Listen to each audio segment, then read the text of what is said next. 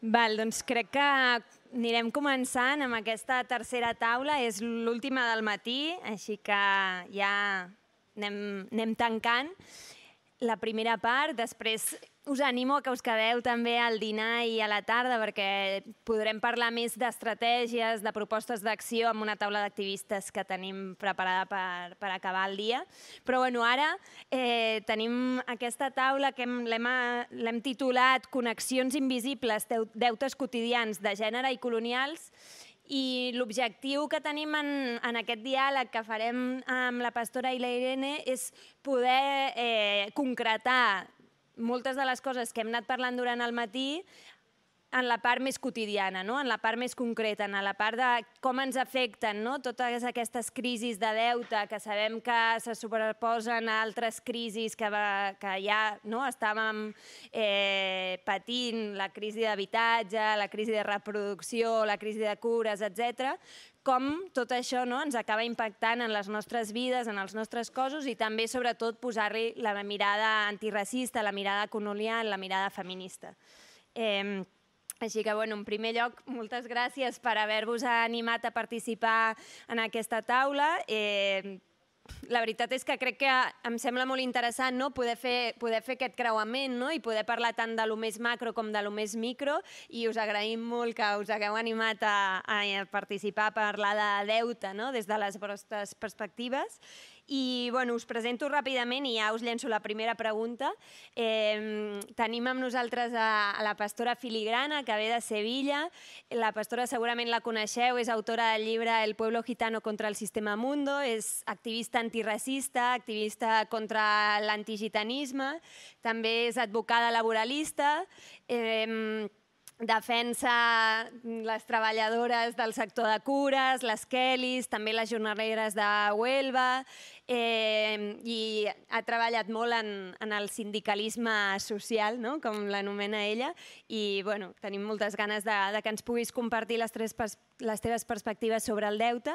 I després tenim a la Irene Sabater, que és professora d'Antropologia Social a la UB, mm, Eh, també forma part de la Junta de l'Observatori DESC i d'un grup d'investigació que es diu CRITS, que ara no me'n recordo de les sigles, però bueno, que la podeu buscar per allà, i és experta en temes de, de deute i habitatge, no? amb un peu també a la universitat i a les lluites socials, i, i bueno, encantada també de tenir-te avui aquí per poder conversar. I bueno, farem com dos rondes de preguntes, la primera més com d'anàlisi del context i la segona més d'alternatives. I la, per la primera, les, la pregunta que els hi llançàvem era quines conseqüències eh, esteu veient que té aquesta confluència de crisis pels territoris i pels, territoris i pels cossos i sobretot no, quins són els processos d'endeutament eh, més invisibles no? o que normalment, tot i que els vivim en els nostres propis cossos, no són dels que es parlen normalment no? quan parlem de deute amb, amb majúscules. I bueno, no sé qui vol començar. Eh, Hola, buena tarde. ¿Bien? ¿Se oye bien? ¿Qué tal? Encantada de estar aquí y muy agradecida de que estén vosotras aquí porque teniendo playa y con este calor me parece un acto de compromiso muy grande que, estén compartiendo este rato aquí con, con, nosotras y pensando colectivamente estas cuestiones. Bueno, como decía Julia, yo soy abogada y soy abogada laboralista, sindicalista, sobre todo en defensa de trabajadoras y trabajadores también, pero como soy abogada laboralista de los sectores más precarizados, es decir, donde trabaja la gente que menos cobra y donde esos trabajos que nadie quiere, que toda persona que tenga otra opción escogerá otra, otro trabajo, pues son trabajos muy feminizados ¿no? y a su vez muy racializados. Las personas que menor capacidad de elección tienen suelen ser mujeres y mujeres migrantes o mujeres racializadas. Por eso, como decía Julia, pues mi trabajo principal ha sido en sectores como el trabajo de la Asociación de Trabajadoras del Hogar, de allí en Sevilla, y acompaño otros procesos. Eh, las trabajadoras jornaleras del campo, sobre todo en Huelva, en Almería. Así que yo la aportación que voy a hacer en estos minutos, que voy a intentar ser estricta con el tiempo, porque me interesa mucho el, debate que se cree, ya que vamos a hablar de lo micro, de las cotidianidades. ¿no? Hemos visto en la primera parte la deuda a nivel macro, cómo funciona y cómo opera, pero qué ocurre en los cuerpos y en las vidas concretas y en la cotidianidad. ¿no? Entonces creo que el debate casi que lo podemos enunciar en primera persona y me parece rico que, que pensemos desde ahí. Así que mi aportación va por aquí. Desde esta experiencia política, profesional, no eh, soy investigadora académica de la deuda, sí he hecho varias investigaciones militantes en torno a estas cuestiones. Voy a hacer mi aportación desde ahí. Eh, no sé si ustedes habrán leído a Verónica Gago y a Lucy Caballero, que son dos investigadoras feministas argentinas eh, que teorizan la deuda en esto, ¿no? La, deuda en lo cotidiano y cómo la deuda, dicen ellas, una idea muy potente, es un mecanismo de eh, mm, disciplinamiento de los cuerpos ¿no? y de las vidas, especialmente de las mujeres. Ellas, hacen toda su teoría desde ahí. Estoy hablando lento por la traducción, porque puedo hablar mucho más rápido que... Espero que, bien, bien, bien. No saben lo que me alegro. Yo comparto esta visión y creo que voy a, ahondo más en la propuesta. Y yo creo que la deuda en sí mismo es un mecanismo de abaratamiento de la fuerza de trabajo. Es un mecanismo de abaratamiento de los cuerpos. Es una manera de crear cuerpos baratos. ¿Por qué? Porque cuando las personas están endeudadas, las situaciones laborales que van a soportar, ya digo, en mi visión, desde el trabajo que hago, son mucho peores, van a trabajar mucho más, por mucho menos y con una capacidad de conflictuar, de crear conflicto o lucha sindical mucho menor. Se van a soportar hacer más horas extra sin cobrar, se van a soportar contratos eh, de, de, cuatro horas cuando realmente trabajas seis o ocho, me siguen, ¿no? Y sobre todo la capacidad que tienes para eh, reivindicar estos derechos, organizarte colectivamente, es mucho menor. Esto lo vemos cada día. Si, estáis en el sindicalismo, en el sindicalismo de base, vais a ver cómo el pan de mis hijos y la hipoteca la tengo que afrontar y no me puedo meter en estos líos de luchas sindicales. Por tanto, la, deuda a, nivel micro opera como una contención de la lucha, de la protesta, de la transformación social en sí misma. Creo que no son los únicos mecanismos. en la mesa anterior hemos visto cómo el neoliberalismo, el capitalismo tiene un deseo exacerbado de materia prima barata. ¿no? Creo que el otro gran deseo del capitalismo es una mano de obra muy barata y muy dócil. Para que esta cosa monstruosa funcione, se necesita abaratar costes tanto en las materias primas y en los recursos, por eso vemos toda esa sobreexplotación de la tierra y del sur global, como la sobreexplotación de cuerpos gente que esté en una situación de mucha desesperación para que sea capaz de trabajar mucho por muy poco en situaciones muy injustas y sin mm, capacidad de la protesta.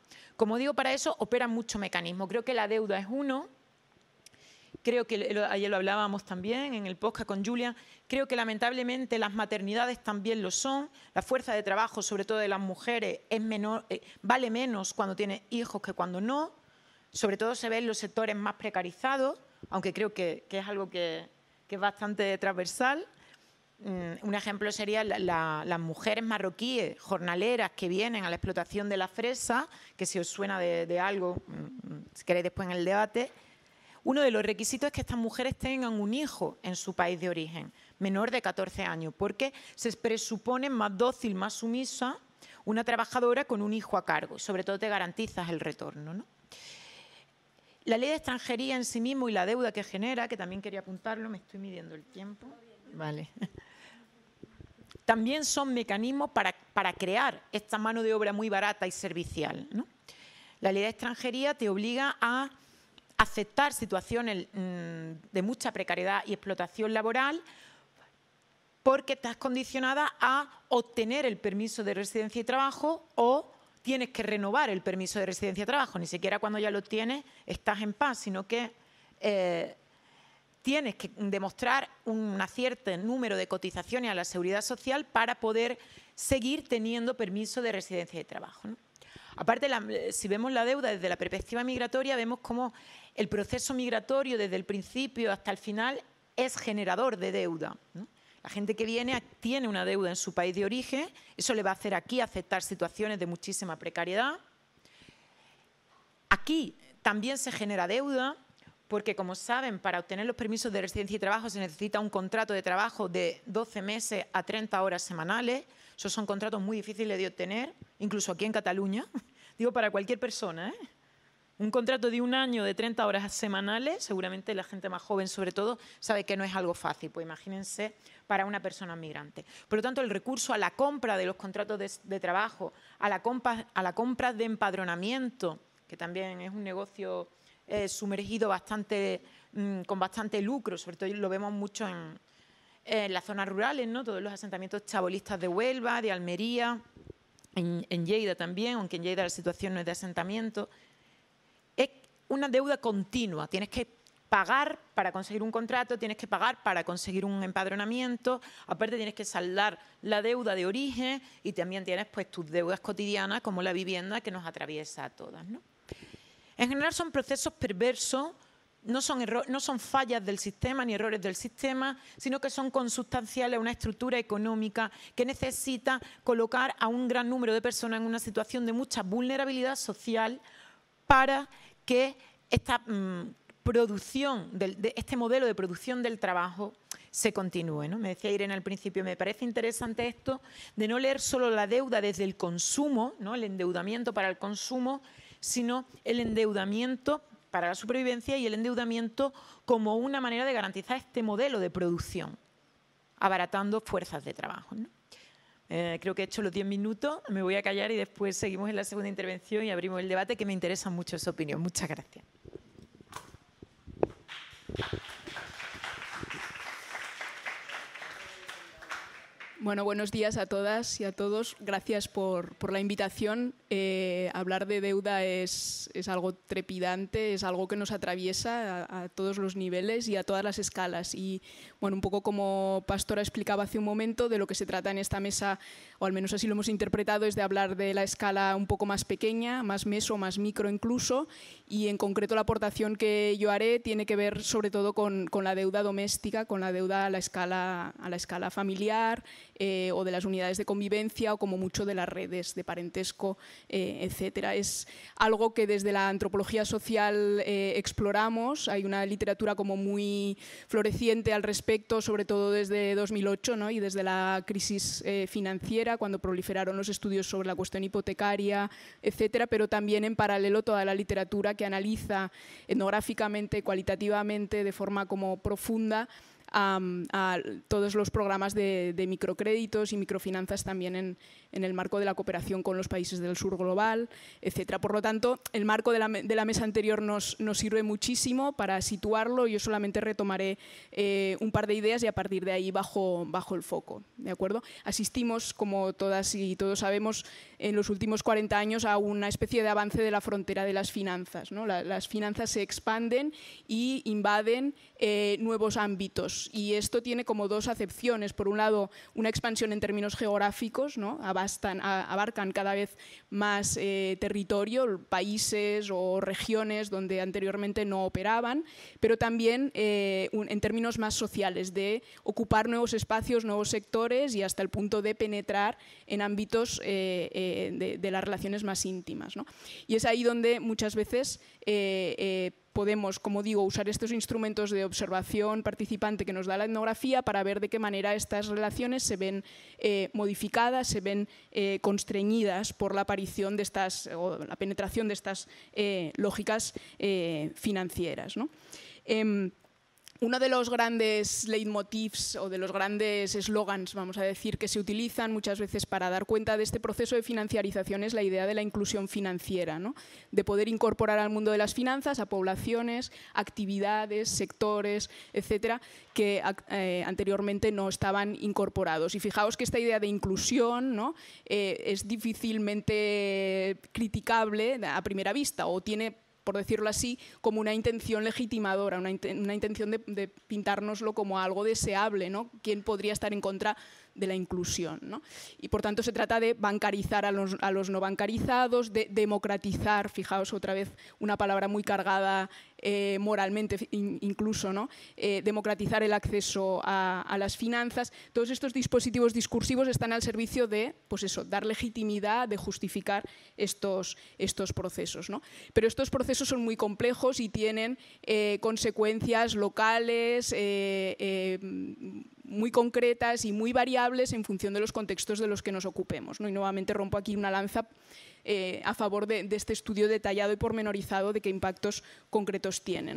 Pero por otro lado, además, si hablamos de, la financiarización como el avance de una frontera, fijaos que eh, podemos rápidamente trazar paralelismos con procesos históricos que ya conocemos, como la colonización o lo que ha venido después, ¿no? la, lo postcolonial, eh, la proletarización, ¿no? la incorporación al mundo del trabajo asalariado, a nuevas poblaciones, en fin, procesos históricos que hemos y que las ciencias sociales han analizado ampliamente ¿no? y que tienen, como sabemos, mucho potencial destructivo en términos sociales, en términos de derechos, eh, de negación o de vulneración de derechos, eh, etc. En concreto, este proceso de avance de la frontera de las finanzas eh, se concreta, si miramos un poco la literatura, en dos sentidos. Por un lado, el crédito subprime, ¿no? el crédito subestándar, no sé cómo decirlo en, castellano, ¿no? sería el crédito para los pobres en el norte global, así a grandes rasgos, y por otro lado, lo que os comentaba antes de los microcréditos, ¿no? esta idea de que a partir de ahora la cooperación al, bueno, a partir de hace ya bastante tiempo, la cooperación al desarrollo no se basa en dar ayudas,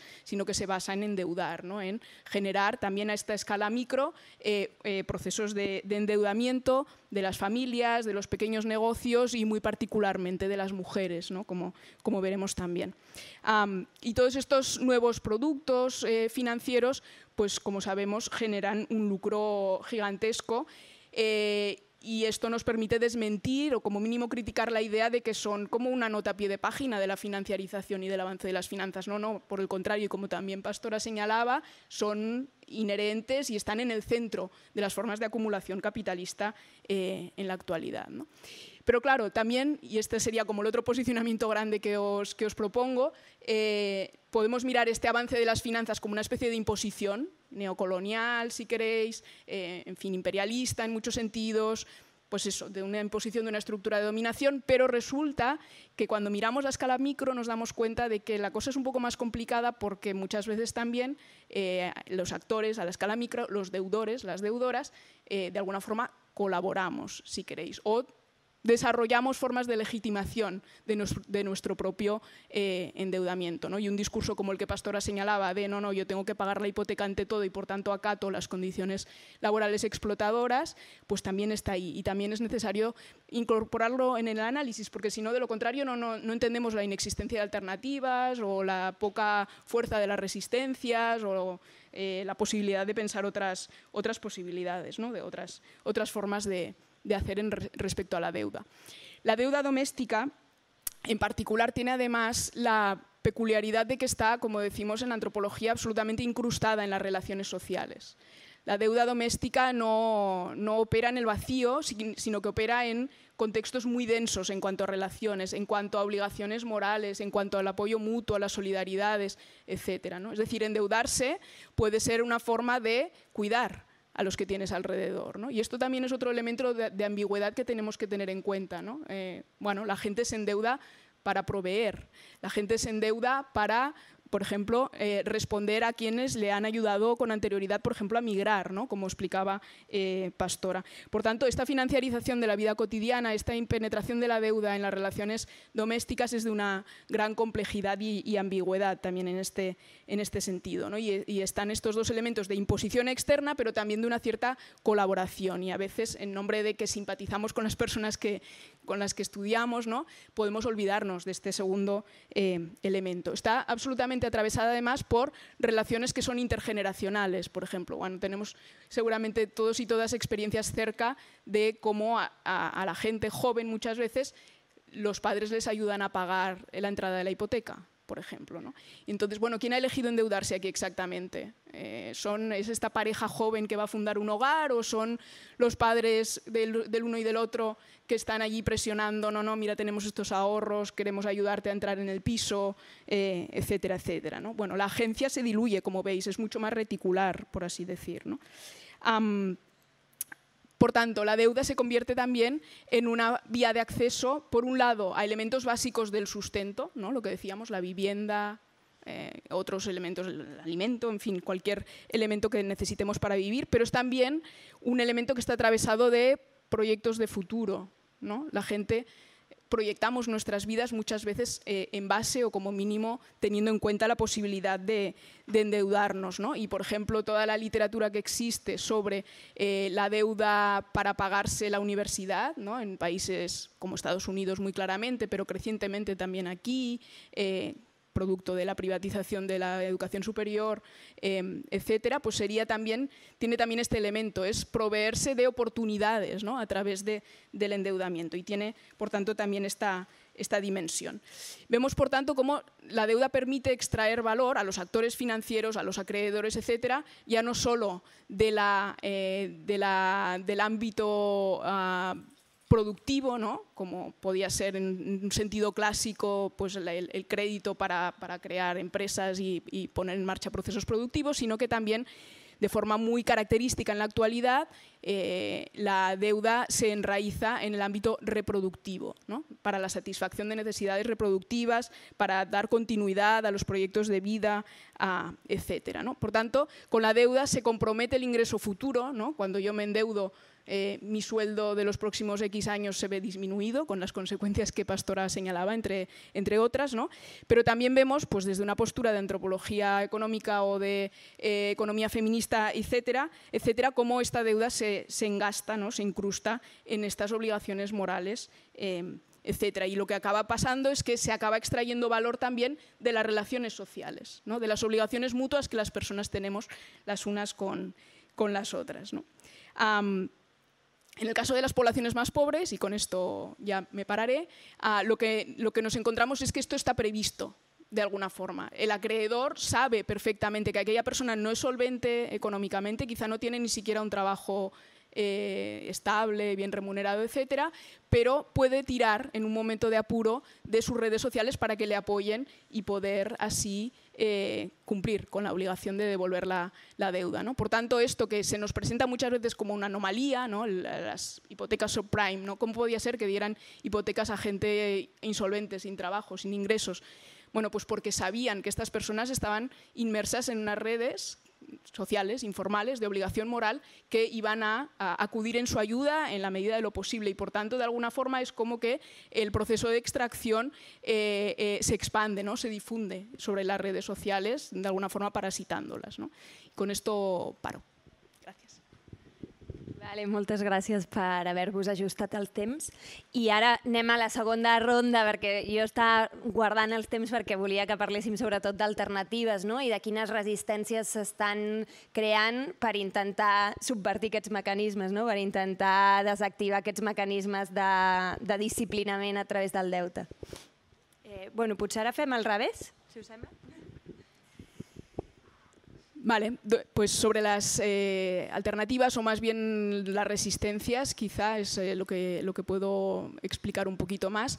En relación con, con, las deudas domésticas en general, muchas veces lo que observamos es que eh, las personas, las familias, etcétera, no son digamos, agentes pasivos de, la situación de endeudamiento, sino que despliegan toda una serie de, estrategias para hacer frente al endeudamiento. Y esto, eh, digamos, desde la mirada esta más etnográfica se observa muy bien porque eh, lo que ocurre es que los, grupos domésticos tienen toda una especie de repertorio de estrategias para hacer frente en general a las dificultades económicas y en concreto al endeudamiento.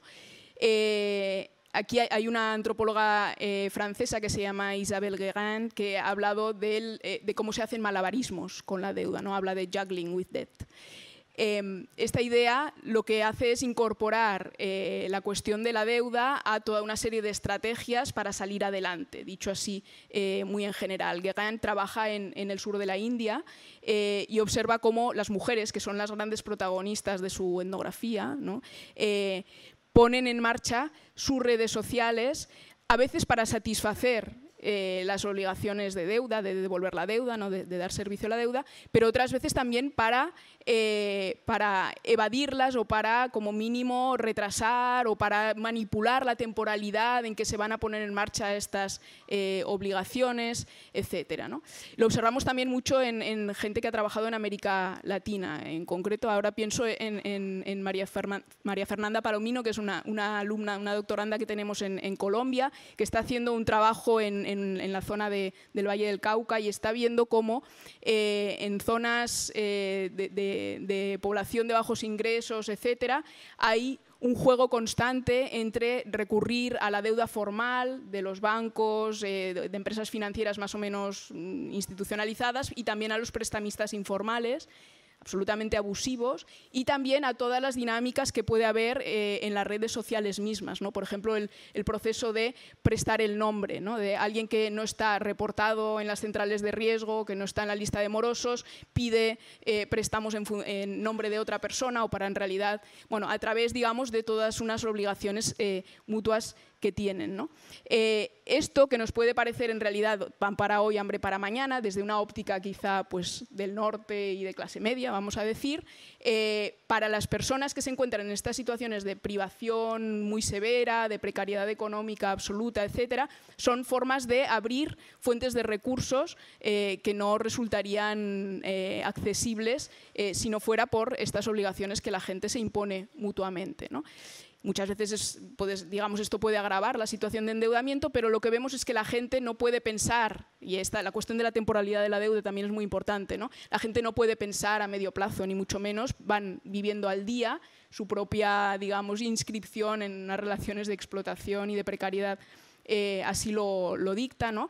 Y entonces lo que hacen es ir saliendo adelante eh, en el día a día y muchas veces lo hacen mediante estas eh, formas de jugar con, bueno, pues ahora me endeudo con esta tarjeta de crédito y cuando ya no me dan más, entonces utilizo la otra para pagar la deuda de la primera, ese tipo de situaciones. ¿no? Evidentemente esto no resuelve el problema que nos preocupa y que nos eh, ha traído aquí hoy, pero sí que nos da una idea de que las personas como decía antes, no son meros eh, receptores pasivos y pasivas de, de, estas relaciones de deuda, sino que buscan también maneras de ponerlas a su favor, de alguna forma. ¿no? Junto con esto, evidentemente, está el otro capítulo, mucho más esperanzador, el de las resistencias más politizadas, ¿no? el de las eh, luchas en contra de la deuda, antideuda, si queremos decirlo así.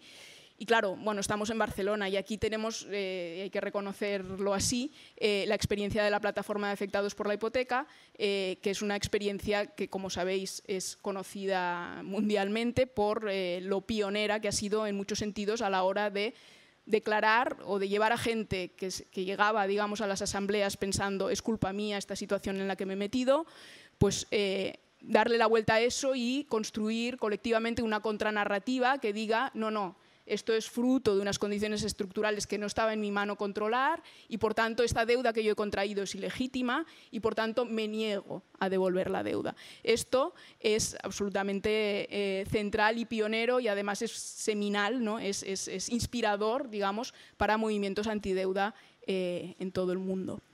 No sé si vamos bien de tiempo. Un par de minutos.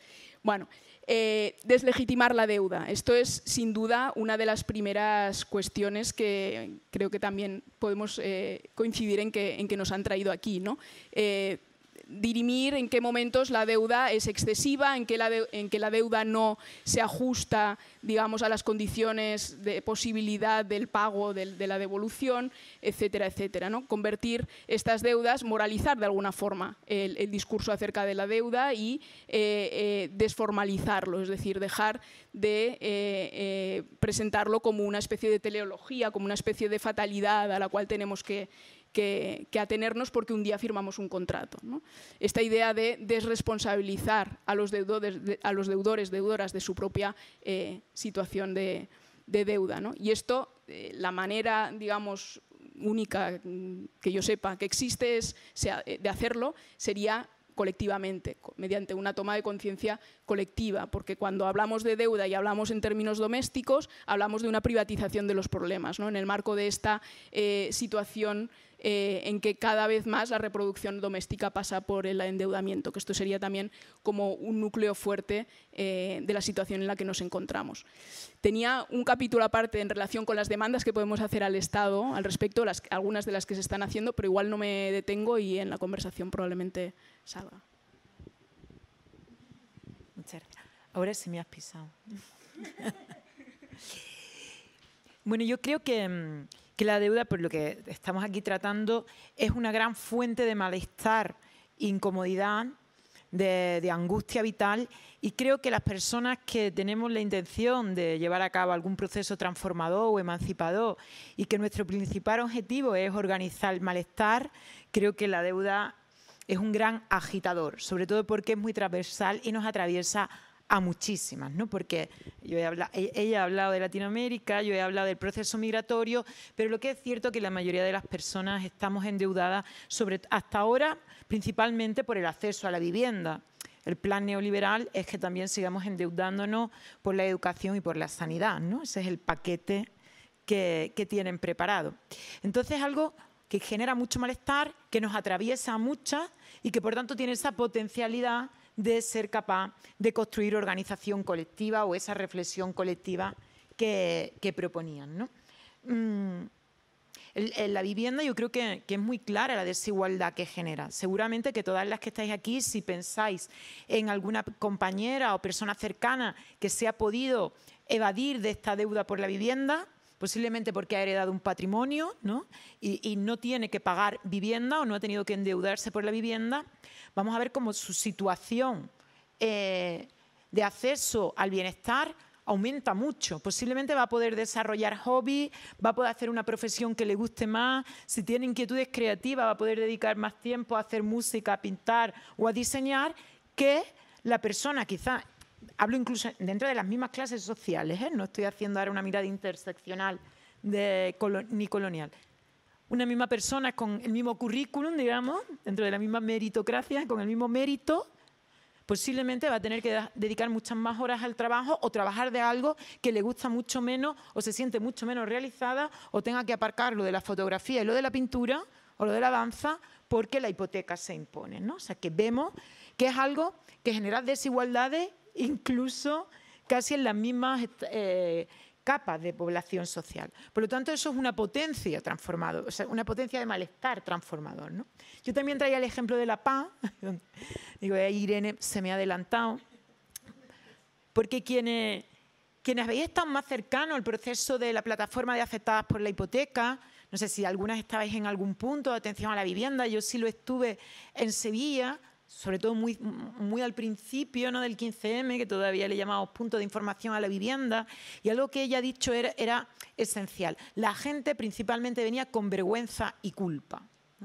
La deuda se asume cuando no la puedes afrontar con vergüenza y culpa, dentro de todo el discurso hegemónico del esfuerzo, la, prosperidad, el ascensor social. Si te esfuerzas lo suficiente, puedes ascender en la escala social y tendrás éxitos, ¿no? Este es el discurso hegemónico que quizá la gente que estamos aquí un sábado por la mañana hablando de estos temas no compartimos, pero es lo que se impone realmente. Tienes en relación a tu esfuerzo, por tanto el que no tienes porque no se esfuerza lo suficiente.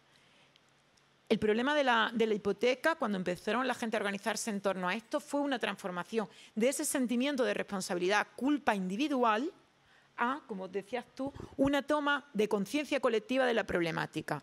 Lo que a mí me pasa y la fuente de mi sufrimiento no tiene la causa en mí, sino en algo externo que además afecta a un montón de gente más y es colectivo. Si tuvisteis la oportunidad de estar cercana a estas asambleas, bueno, siguen todavía en vida, esa potencia de pasar de lo individual a lo colectivo, para mí fue lo que tuvo más potencia política y lo que ha conseguido impulsar algunas reformas, todavía innecesarias, pero sí al menos eh, se frenó algo la impunidad de aquellos desahucios. ¿no? Tuvieron que reinventar aquellos desahucios porque no podían ser tan crudos, porque había una opinión pública ya mayoritaria en contra de aquello. Yo creo que el eh, yo, a esto le llamo sindicalismo social, como decía, eso de organizarnos en torno a un problema individual, ver esa vertiente colectiva y diseñar estrategias colectivas que nos ayuden a todas, eso realmente es el sindicalismo, eso es el sindicalismo del sindicato de inquilinos, es, eh, la lucha de la regularización ya, ¿no? es, ver la causa externa y común a todas, que es completamente lo contrario a lo que pretenden que nos hagamos. Yo creo que las resistencias a la deuda cotidiana tienen que ir por aquí, tienen que generarse estas instituciones comunales, estos espacios comunes, eh, esta capacidad de organizar el malestar individual y darle respuestas colectivas. Y posiblemente pronto vamos, a tener que estar haciendo paz para las deudas de la sanidad, porque ya vemos, cuál es el proyecto. Y posiblemente estas luchas tengan que, resistir. Yo creo que, que hay que saber mirar a los márgenes, no, todas las respuestas las vamos a encontrar en la academia ni en las macroinvestigaciones, sino que verdaderamente la resistencia cotidiana a la deuda y la resistencia colectiva es toda una fuente de conocimiento para crear estas estrategias de lucha. Bueno, muchísimas gracias. Yo creo que va bastante en la línea, ¿no? Todo lo que habéis contado con algo que también ha salido a la mañana, ¿no? Lo decía Yolanda, como que la alternativa, ¿no? La única forma de resistir a estos modelos de deuda es agrupándonos, ¿no? Aliándonos entre los deudores y las deudoras. Eso pasa a nivel estatal, ¿no? A nivel de los países eh, más endeudados, pero también a nivel, ¿no? De, de, las familias, de los hogares más endeudados y endeudados y eso es lo que se ha demostrado, ¿no? Cuando ya la deuda supera unos límites, el problema no, tiene no lo tiene tanto el deudor individual, sino el banco, el acreedor, que, empieza a tener eh, todo un grupo que se enfrenta a ellos. Eh, bueno, tenemos un rato para, algunas preguntas o intervenciones. Eh, la Alfonso os pasará el micro. La Yolanda s'anima a parlar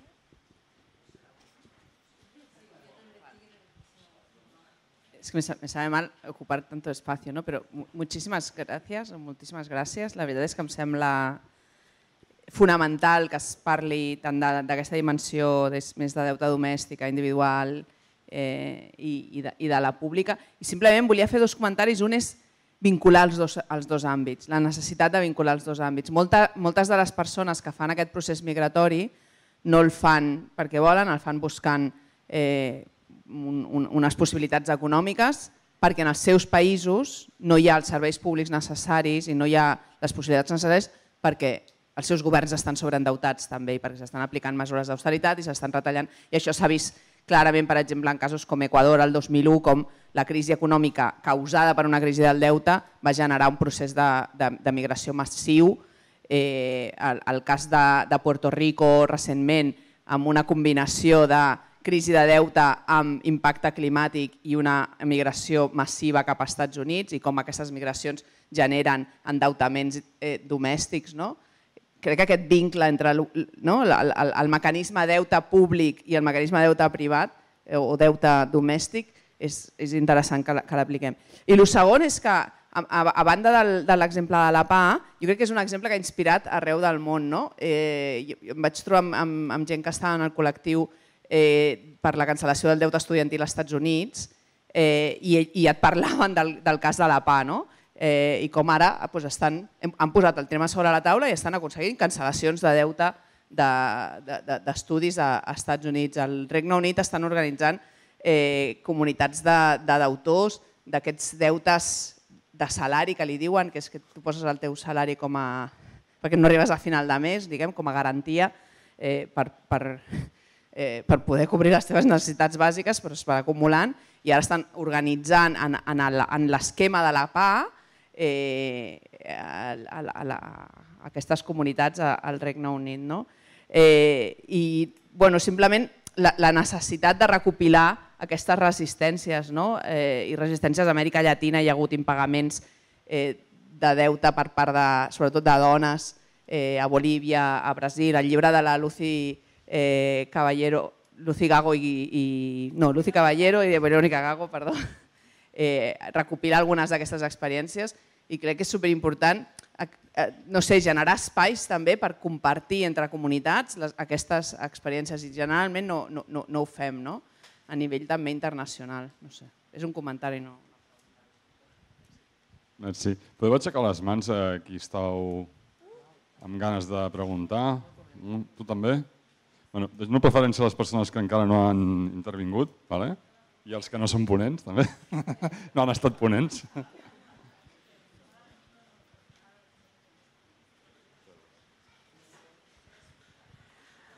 Bé, moltíssimes gràcies. Crec que fonamental aquesta taula també, com les de tot el matí.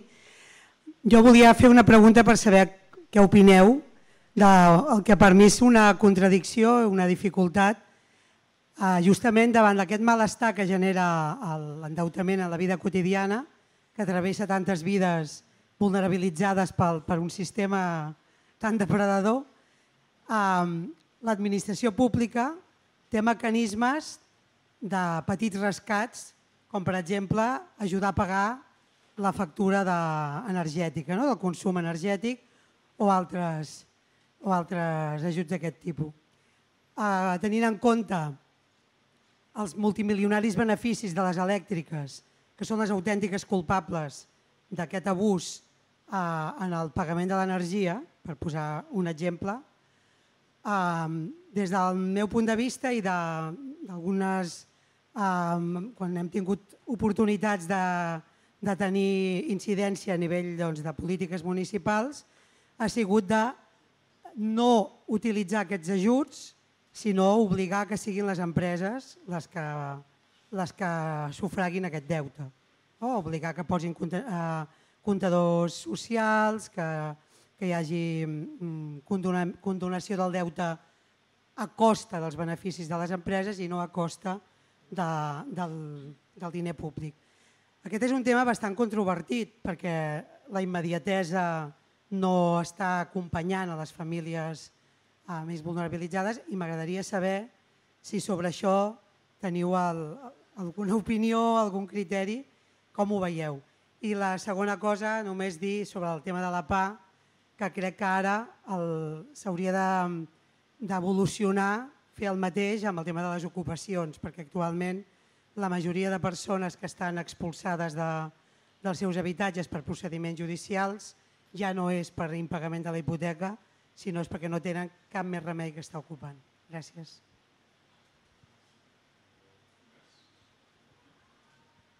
Bueno, otra vez tengo una pregunta, lo siento, pero bueno, es que es muy necesaria hacerla.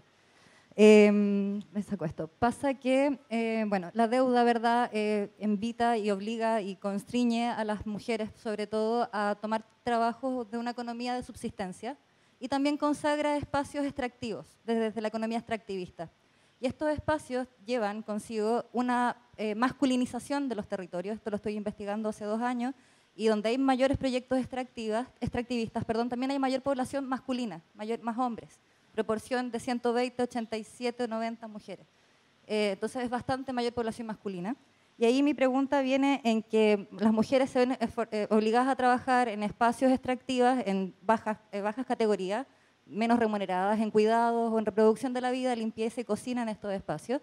Y investigando también eh, me di cuenta de que muchas mujeres se ven condicionadas a la explotación sexual no es un trabajo sexual porque acá están condicionadas a la explotación sexual dentro de las propias faenas mineras, incluso, donde las empresas hacen caso omiso, no ven, no ven nada de lo que ocurre ahí, la violencia doméstica, embarazo adolescente, mayores ETS también. Otros problemas cotidianos que aquí al menos no alcanzamos a conversar porque es otra mirada de otro lugar, pero también viendo esta mirada creo que es importante señalarlo. Y bueno, y ahí la pregunta desde Carpo Langi y Marilyn eh, Warin, que es esta economista que plantea que el PIB no ve a la mujer ver cómo este trabajo doméstico, si es viable o no, que este trabajo doméstico sea un trabajo. El por qué la cocina, cuando es una cocina que se vende, es economía activa, y cuando la cocina se hace una persona que yo cuido y quiero, es una economía pasiva. Entonces, saber si esta mirada es viable o no. Eso. Vale, tenim tres paraules més, com, com ho fem, Júlia? Ostres, no sé si hi ha temps, eh? No? Bueno, el que tu diguis. Eh, tres curtes. Vinga, molt sí? curtes. Sí? És que sí. Cortes? Com no. Una pregunta, pregunta cortita. Ah, quería saber si ah, ah, habrías esto, trabajado con comunidades roma, particularmente mujeres roma, y cuáles son las, las los problemas que, que, ves en las comunidades. Gracias. Gracias por la brevedad también. Cielo y Pilar.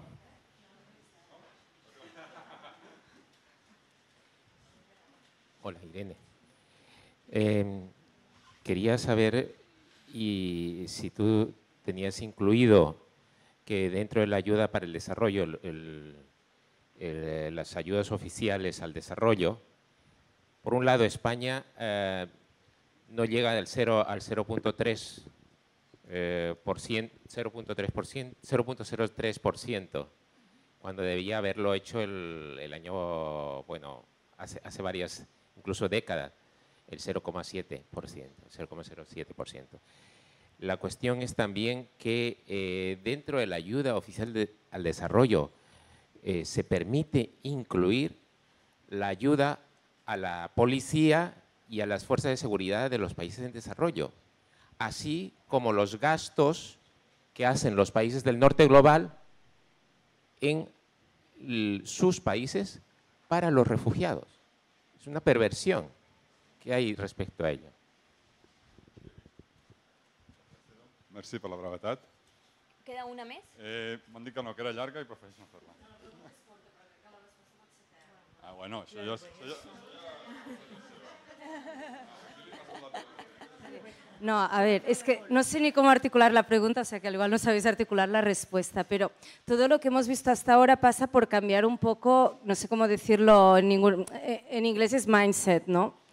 Uh, aparte de lo que queda claro que afecta uh, la deuda y las obligaciones financieras en la vida de cada persona, ¿cómo se puede hacer para de de, una manera un poco global, y estoy hablando en el caso de España porque no conozco, bueno, no conozco bien otros países, ¿cómo se podría hacer desde el punto sobre todo de las ciencias sociales para conseguir cambiar el mindset por personas como nosotras que estamos atravesadas por el capitalismo? Para que mm, podamos um, entender que se puede ser feliz sin lo que nos da el capitalismo. No sé, no sé si me explico, porque creo que esto es un paso muy necesario y que las ciencias sociales son muy necesarias para el cambio que se està... Encara tenim una pregunta més. Crec sí, que no, no teniu gaire gana. Eh? Ens hem quedat ben tipes eh, no, no, de l'esmorzar. Ha sigut culpa meva que no havia vist la companya. No passa que... res, no passa res. Dinarem una mica més tard i ja està. Hola. Bueno, gracias, primero que todo. ¿Me escucho? Ahora sí. Eh, bueno, me parece súper interesante como esta vinculación entre lo doméstico y lo global, porque al final si uno analiza como estas trayectorias migratorias de mujeres que vienen de países latinoamericanos, muchas veces em, pues parte de, los problemas que dejan atrás están precisamente vinculados a la deuda de estos países, es decir, a falta de infraestructura que responda a sus necesidades básicas. Vienen porque eh, quieren que sus hijos puedan acceder a la educación o vienen porque finalmente en los países que no tienen un, estado de bienestar consolidado o que en realidad nunca lo han tenido, porque la realidad es que nunca estuvo, eh, la salud termina resultando un endeudamiento importante cuando se dan cosas inesperadas. Entonces, esto, pues, en lo que resulta es que se, se vincula al final esta deuda global con la deuda doméstica y personal de las mujeres y también el tema de cómo esto al final es atravesado por el género, porque en las familias muchas veces quien tiene acceso a estas hipotecas es el hombre, porque finalmente la mujer no tiene un salario tan bueno, eh, pues a veces está más vinculada al trabajo doméstico y al trabajo reproductivo, entonces quien tiene este poder de decir, bueno, yo saco la hipoteca es el hombre. Entonces eso me parece como algo muy interesante de analizar, pero la pregunta que quería hacer es como en cuanto al tema de la cooperación internacional y la ayuda oficial al desarrollo, como em, esto finalmente termina siendo una especie de blanqueamiento al tema de, la justicia climática y la justicia social y realmente si uno analiza como lo que se invierte en ayuda oficial al desarrollo versus lo que estos países tienen en deuda externa, como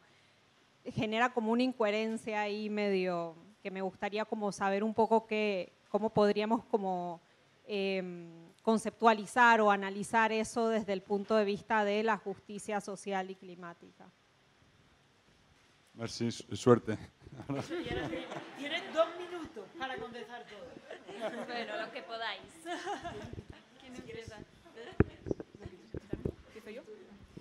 Voy a hacer lo que pueda. y muchas gracias por el interés a todas. Eh, la cuestión de los vínculos entre las escalas, eh, deuda pública, deuda doméstica, eh, es imprescindible. No podemos mirar ni solo lo micro ni solo lo macro porque está absolutamente inextricable ¿no? una cosa de la otra.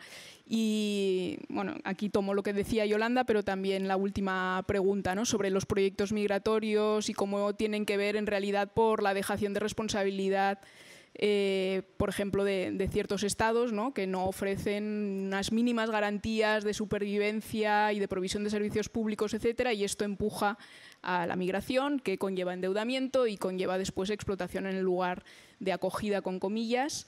Em, eh, en una especie de, bucle ¿no? Del, que no, del que no salimos eh, y que tiene que ver nuevamente con la división global del, del trabajo ¿no? y de la división global, digamos, de las funciones que ejercen distintos estados, etc. Lo podemos volver a mirar desde el punto de vista macro, pero si lo miramos desde el punto de vista micro, además añadimos un elemento de complejidad sobre el que he intentado incidir un poco antes, pero igual no ha sido suficiente, que es la cuestión de la deuda moral también.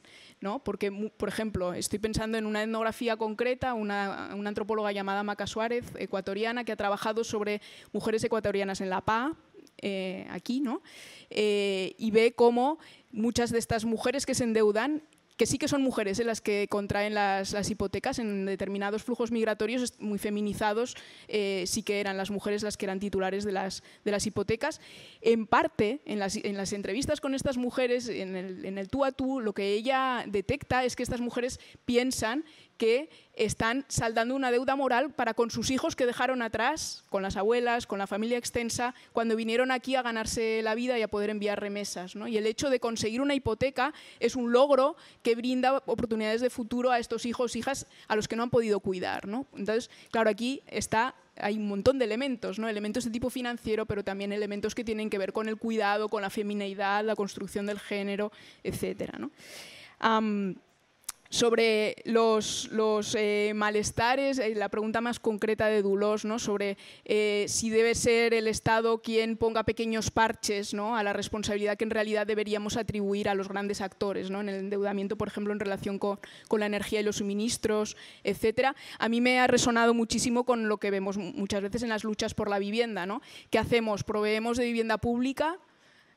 Digamos, con cargo al Estado, con cargo a los impuestos, etcétera, o obligamos a los privados que operan en el, mercado inmobiliario que asuman una parte de responsabilidad y limiten su lucro. No estamos diciendo no ganéis nada, estamos diciendo no ganéis todo, no ganéis sin límite, ¿no? Eh, eh, co colaborad, digamos, en que la vivienda asequible sea una realidad, etcétera. Esto cuando se plantea eh, genera unas resistencias infinitas y los lobbies se ponen a trabajar fuertemente para que en todo caso en los programas electorales y ya no digamos en la, en la política que realmente se aplica, lo único que se haga sea hablar de vivienda pública, eh, pero nada de que los privados vayan a limitar el coste de los alquileres o cosas por, por el estilo. ¿no?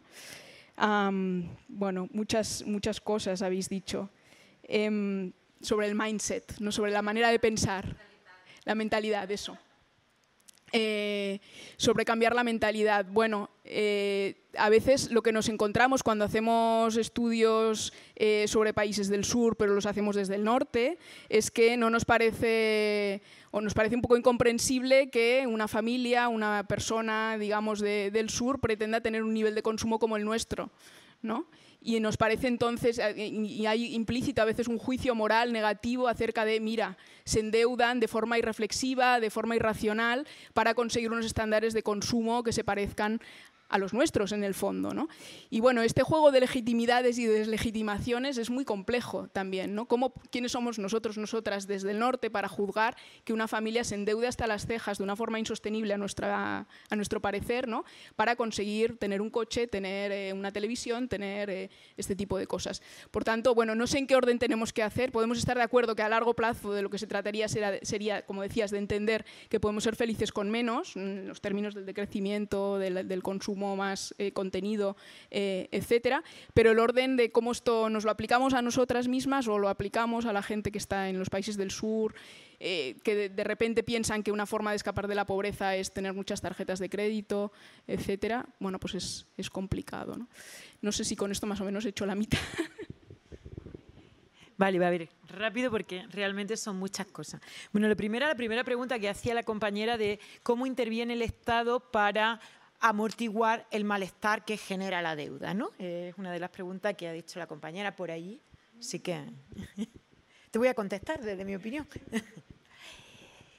Yo creo que el Estado en sí mismo, su objetivo principal es ese. Es, y yo aquí invito a leer a Emanuel Rodríguez sobre todo el último trabajo que ha hecho del efecto clase media y cómo el Estado, su principal misión ha sido redistribuir de determinada manera las riquezas comunes para sostener a determinadas clases sociales, que es lo que llamamos clase media. Es decir, ayudas Ha habido ayudas continuas para el acceso a la vivienda, para el acceso a determinadas formas de consumo, para crear, para la construcción y creación de la clase media hoy. ¿no? Entonces el Estado en sí mismo es ese mecanismo de redistribuir un poquito y solo algunos para sostener el modelo de producción y consumo. O sea, que, realmente, ella preguntaba sobre esa ayuda a la electricidad, que lo soporte el, el erario público, la factura de la luz y no recortar a las multinacionales eléctricas, era su pregunta. Yo creo que el Estado esa es su función y siempre lo va a hacer. La cuestión que ocurre en, en, un panorama de crisis es que esa ayuda cada vez va a ser menor y le va a llegar a menos gente. Por lo tanto, cada vez las bolsas de pobreza van a ser más grandes. Eso realmente es la crisis el Estado hace contención social, hace que alguna gente viva dignamente para que sigan siendo los, los que protejan el orden vigente injusto y desigual. ¿no? Eso siempre, siempre va a ocurrir. La ocupación es una, una autotutela de derecho, para mí, ese movimiento por la vivienda, que, deviene movimiento eh, por la ocupación de la vivienda, como una autotutela de un derecho básico que no está cubierto y cada vez vamos a ver más de este tipo de movimientos. No solo ocupación, lo mismo nos tenemos que reinventar cómo gestionar la salud pública cuando de verdad esté privatizada, ¿no? autotutelar nuestros derechos en ese aspecto. No sé si te habré contestado, pero Emanuel Rodríguez lo explica muy bien cómo se construye la clase media y cómo se necesita una inyección continua de riqueza desde el Estado. Eh, hay una compañera que me ha gustado mucho que estás investigando sobre las faenas mineras, ¿no? ¿En qué país me has dicho? En Chile. Bueno, lo que has descrito es exactamente igual que lo que ocurre en Andalucía y en otros muchos lugares con el jornalerismo, o sea, con los trabajadores del campo. Es idéntico. Las faenas más duras y peor pagadas del campo le tocan principalmente a las mujeres. Y en las situaciones más extremas que se dan en este, en este país, en Huelva, en Almería, en el Levante, en Lleida, muchas mujeres migrantes abocadas a redes de prostitución dentro de estas macroexplotaciones de la tierra. Eh, lo que has contado, lo que quiero decir que es algo estructural, que es tal como funciona el patriarcado en los niveles de, mujeres más pobres. Ocupar esos lugares, ese trabajo peor pagado peor reconocido, esa sobreexplotación del cuerpo. La verdad que, es que has contado exactamente lo mismo que está ocurriendo eh, esta tarde en Huelva. Eh, me preguntaba también Diego que si había trabajado con mujeres romas. Aquí gitana no es despectivo. Sé que en Europa sí, sé que vives en Bruselas y allí gypsy es muy despectivo y él me ha preguntado mujeres Roma porque es la manera correcta. Aquí no. Sí he trabajado, formo parte del movimiento de asociaciones gitanas de mujeres y realmente las mujeres gitanas, la población gitana hasta la ola migratoria de los años 2000 ahora era la población racializada de este país a la que se le reservaba esos puestos peor pagados y reconocidos. ¿no? De hecho, hay un gran paralelismo entre las leyes antigitanas y las leyes migratorias hoy. La potencia de la población gitana, y te contesto a ti, a la vez, a ti, la que ha hecho la pregunta imposible, es que la historia del pueblo gitano es una historia de resistencia a comprar el modelo de producción y consumo, asumirlo y ocupar ese lugar. ¿no? La historia del pueblo gitano es una historia de desafío a, lo que tú has llamado la mentalidad, ¿no? de lo que, de cómo te dice el capitalismo que hay que vivir en lo bueno. ¿no? Cada vez menos, porque el neoliberalismo es ese rodillo que amasa todas las culturas y todas las estrategias culturales que puedan existir en los márgenes, pero históricamente la historia del pueblo gitano es un desafío para mí, y mi trabajo ha sido un desafío al modelo de producción, es decir, a no querer trabajar a cambio de un salario lo peor pagado, y un, desafío al modelo de consumo, a no me hace feliz el tipo de consumo que tú me dices que hay que tener. ¿no? Y pago con precariedad o exclusión mi libertad. ¿no? Románticamente yo lo llevo a niveles económicos o de economía alternativa o de autogestión de las vidas, pero realmente es eso, con un castigo muy grande, desafiar el imaginario imperante es el castigo como el castigo a la disidencia política que estamos aquí hoy. También sabemos lo que es escoger unos trabajos y no, y otros, y estar en este lado de los que critican la deuda y no de los que están pensando en cómo crearla. El precio de ese cambio de mentalidad que tú llamas es la persecución, la exclusión, la, marginación social ¿no? que nos atraviesa a toda disidencia. Es muy difícil, pero es lo que hacemos aquí un sábado por la mañana. Ya lo estamos, lo estamos haciendo. Yo creo que entre lo que ha contestado Irene y yo, creo que se habrá quedado todo más o menos dicho. Muchas gracias.